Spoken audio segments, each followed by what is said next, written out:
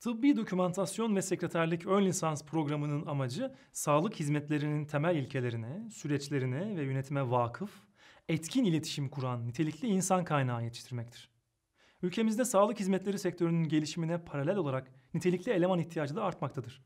Bu sebeple sektöre ilgi duyan ve bu alanda eğitim alarak mesleki anlamda uzmanlaşmak isteyenlere uzaktan eğitim yoluyla sektörde istihdam edilme imkanı sağlanması amaçlanmaktadır.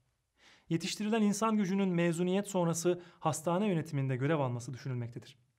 Tıbbi dokümantasyon ve sekreterlik ön lisans programına ölçme, seçme ve yerleştirme merkezi tarafından yapılan 2016 yükseköğretime geçiş sınavı ile öğrenci kabul edilmektedir. 2016 YGS puan türlerinin en az birinden 150 ve daha yukarı puan almış olanlar, 2016 öğrenci seçme ve yerleştirme sistemi tercih işlemlerinde kontenjan dahilinde bu programa yerleştirilmesi halinde kayıt hakkı kazanırlar.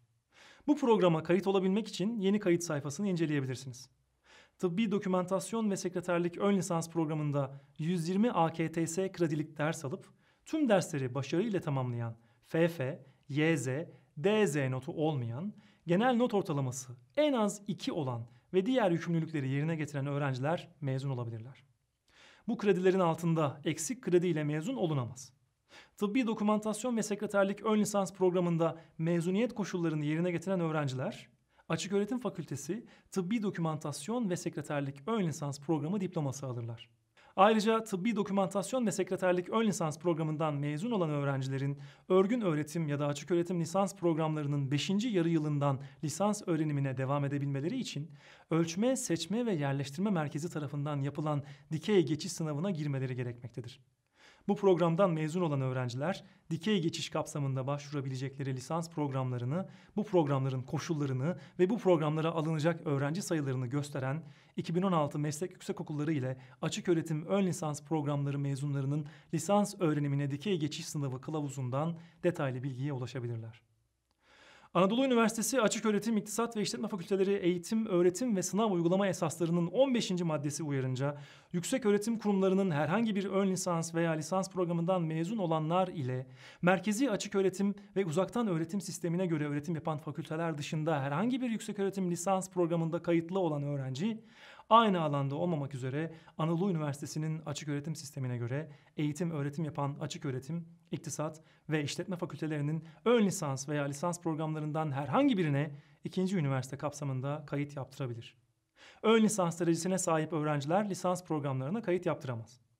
Öğrenci seçme ve yerleştirme sistemi yükseköğretim programları ve kontenjanları kılavuzunda yer alan Kuzey Kıbrıs Türk Cumhuriyeti üniversitelerinden mezun olan veya öğrenimine devam eden öğrenci sınava girmeden ikinci üniversite kapsamında kayıt yaptırabilir.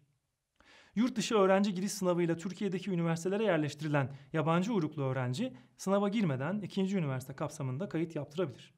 Uyruğundan biri Türkiye Cumhuriyeti olup yurt dışı yükseköğretim kurumlarını bitirerek Yükseköğretim Kurulu Başkanlığından denklik belgesi alanlar sınava girmeden ikinci üniversite kapsamında kayıt yaptırabilir.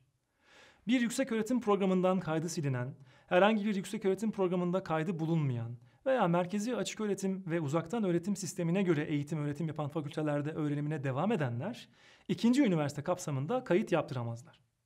Uygulama esasları hakkında daha detaylı bilgi almak için ikinci üniversite hakkında nasıl öğrenci olabilirim sayfasından bilgi alabilirsiniz.